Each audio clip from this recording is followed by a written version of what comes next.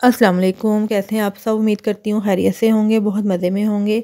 आज हम बनाएँगे वाइट सॉस पास्ता तो रेसिपी की तरफ़ चलते हैं, लेकिन उससे पहले ही मेरी वीडियो को लाइक करें शेयर करें चैनल पे नए हैं सब्सक्राइब करें और बेल आइकॉन का बटन लाजमी दबाएँ। इससे मेरी वीडियो सबसे पहले आप तक पहुँचेगी। तो रेसिपी स्टार्ट करते हैं। बिसमीम यहाँ पर मैंने तीन अदद चिकन ब्रेस्ट लिए हैं। उसको हैमर की मदद से मैंने पहले से ही फ्लैट कर लिया हुआ है। इस तरफ़ मैंने अब लिया है जी तीन से चार टेबल स्पून दही। इसके अंदर अब जाएगा हाफ़ टी स्पून काली मिर्च हाफ़ टी स्पून दरदरा मिर्च हाफ़ टी स्पून लाल मिर्च पाउडर और नमक हंसबे जायका अब मैं इसमें क्रीम शामिल कर रही हूँ। क्रीम आपने टू टेबल स्पून शामिल करना है इसमें। मैरिनेशन हमने उतनी ही बनानी है कि बस ये वेस्ट ना हो।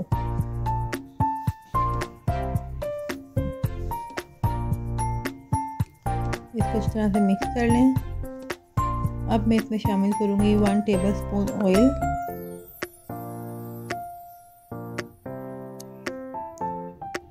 अगेन इसको अच्छी तरह से मिक्स करें. यह मैरिनेशन हमारी रेडी है. अब हम चिकन के ब्रेस्ट लेंगे और इसको कोट कर देंगे मैरिनेशन में. अच्छी तरह से दोनों साइड पे मैरिनेशन लगाएँ.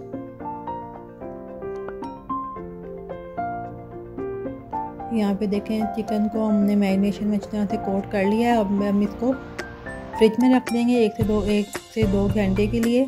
ये था जी पास्ते के लिए हमारा फ़र्स्ट स्टेप। डन है। अब चलते हैं सेकंड स्टेप की तरफ़।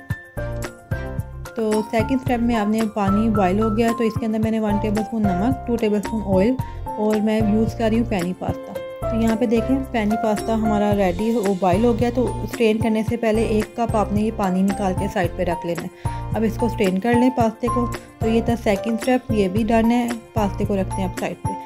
फ्राई पैन आपने मीडियम लो पे ऊपर गर्म कर लेना है, इसके अंदर कोई ऑयल शामिल नहीं करना फ्राई पैन में। सिर्फ़ सिंपल आपने इस तरह ब्रेस्ट रख देनी है चिकन की, ठीक है?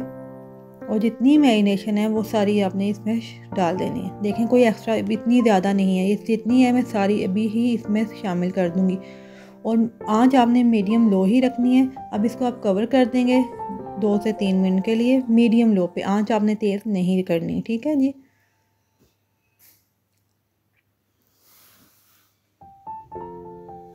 दो तीन मिनट हो चुके हैं। तीन मिनट के बाद देखे चिकन ने पानी भी छोड़ा हुआ है। अब मैं इसकी साइड जो है ना, वो चेंज कर दूँगी।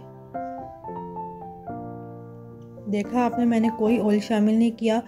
मैरिनेशन में जो ऑयल था क्रीम भी ऑयल छोड़ती है, उसी में यह हमारा रोस्ट हो जाएगा।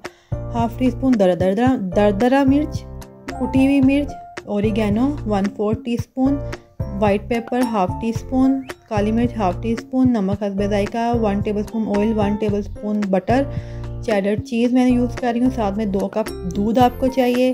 ये पास्ते का पानी आपके सामने निकला था और मैं इसमें ना कुछ वेजिटेबल्स भी यूज़ कर रही हूँ। ठीक है, जिसमें शिमला मिर्च, गाजर, बंद गोभी दोनों कलर की हैं।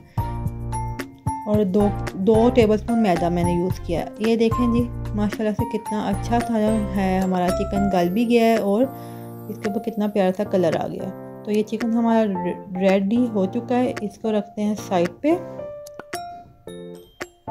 अब चलते हैं हम चौथे स्टेप की तरफ़, जो है सॉस इसमें वन टेबल स्पून ऑयल शामिल करें। वन टेबल स्पून ही बटर ऑयल इसलिए हम शामिल करते हैं ताकि बटर जो है ना, वो जले ना। और अब इसमें शामिल करूँगी मैं लहसुन। वन टीस्पून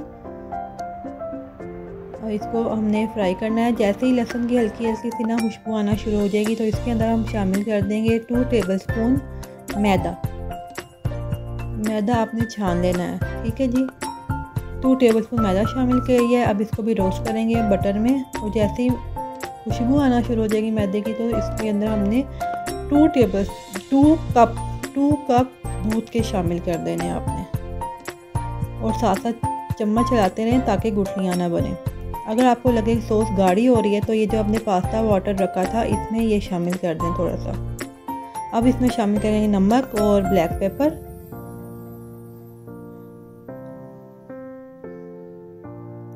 साथ में इसमें वाइट पेपर पाउडर और ओरिगेनो। क्वांटिटी मैं डिस्क्रिप्शन बॉक्स में भी मेंशन कर दूँगी, आप प्लीज़ वहाँ से जाके देख लिया करें। साथ में इसमें शामिल किया है मैंने दरदरा मिर्च।